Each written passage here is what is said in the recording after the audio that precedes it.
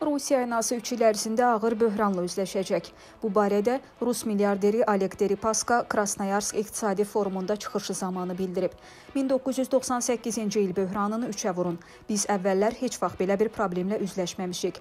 Mən özüm bunu başqalarından yaxşı başa düşürəm. İnsanlar soruşur ki, dəmir pərdəni endirəcəklər ya yox. Mən deyərdim ki, dəmir pərdə artıq aşağı salınıb və bu faktdır. Deripaska bildirib. Sahibkar vurğulayıb ki, indi Rusiyanın bu pərdənin yenidən qaldırması lazımdır lazımdır.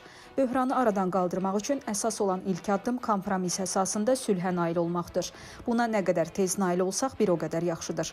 Mən çox istərdim ki, əvvəlcə sülh bərqərar olsun. İkinci addım harda yaşadığımızı, necə yaşadığımızı, hansı şəraitdə, kimin nəyi əmr etdiyini və kimin hansı riskləri daşıdığını vicdanla müzakirə etməkdir.